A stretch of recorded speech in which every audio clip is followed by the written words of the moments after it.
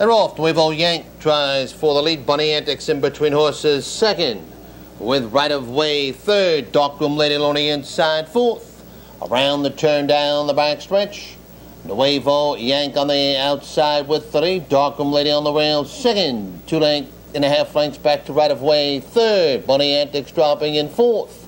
Judy Trey fifth. Idlewood Legend sixth. Lovely's only one seventh. At the quarter pole, Nuevo Yank leads by half length. Darkroom Lady alongside second. Quarter time was 28 seconds flat.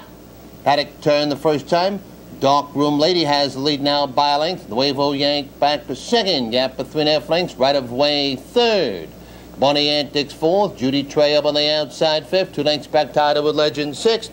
Lovely's only one trails to field seventh.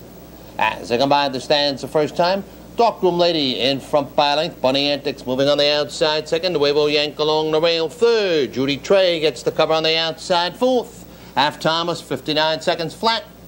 Around the clubhouse turn the final time. Darkroom Lady in front by half length.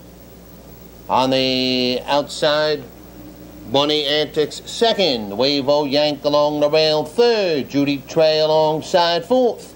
Three lanes back to right of way fifth. Idlewood Legend sixth. Lovely's only one seventh.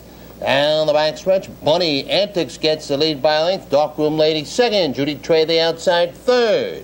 Three quarters, one, 27 and two. Around the far turn, Bunny Antics in front by three lengths. Darkroom Lady second. Nuevo Yank boxed in on the rail third. Judy Trey alongside fourth. They approach the of the stretch. Bunny Antics leads by three lengths. Darkroom Lady second. Nuevo Yank the outside third. Through the stretch, Bunny Antics in front by three and a half lengths with Darkroom Lady and Nuevo Yank. Bunny Antics, Darkroom Lady and Nuevo Yank. Bunny Antics.